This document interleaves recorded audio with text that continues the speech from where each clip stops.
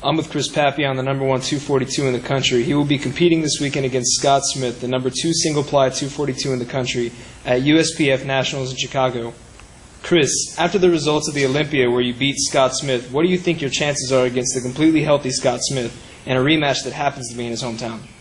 Man, um, honestly, Scott's a really good lifter. So, I mean, I'm 50-50. There's a part of me that's very confident, and there's a part of me that says, you know, I make one mistake and I'm gonna lose. Um, but this is what powerlifting is about to me. It's about matchups and uh, two people facing each other. So, if I'm saying that I'm gonna go for a national title, then I feel like I should face the best person in my weight class, and that happens to be Scott.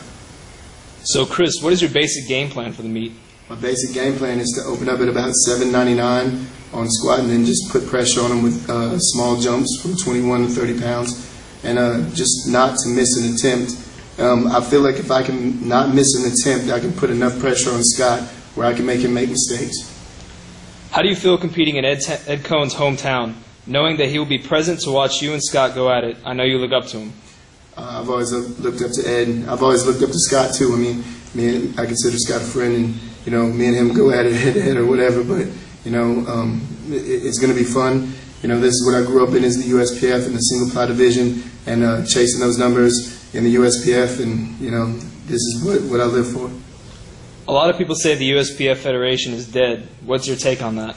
I mean, I kind of I take offense to it because you got to remember that that there's so many legends that came through the USPF, from Steve Goggins to Ed Coan, you know, uh, uh, Rick Gaugler, you know, Mike Bridges, Ryan Selly, Scott Cartwright, uh, Brian Siders. I can name a list of people who have paved the way. Jill Mills, Milo Mills. You know, those people have created history for us. It doesn't matter if there's never another USPF meet. There will always be memories of the USPF and the legacy that it left. So to say something that is going to die, I, I don't agree with that. I think that no matter what, that we'll always have it in our heart. You know, it's easy to talk about the USPF, but I challenge any lifter that thinks they're legit to go set an American record in the USPF. Go to the USPF where Ed Coan squatted 1,019 single ply 242, pulled 901 pounds at 220. Uh, 20, uh, Mike Bridges go well into the 2100s, single ply and, and marathon suits. I mean, try to set an American record in the USPF and you'll see exactly the legacy that it leaves because it's not easy. You know, there's been so many people that have come to that federation and done a lot. So it's not dead to me. I'm going to be there Saturday trying to wake it up.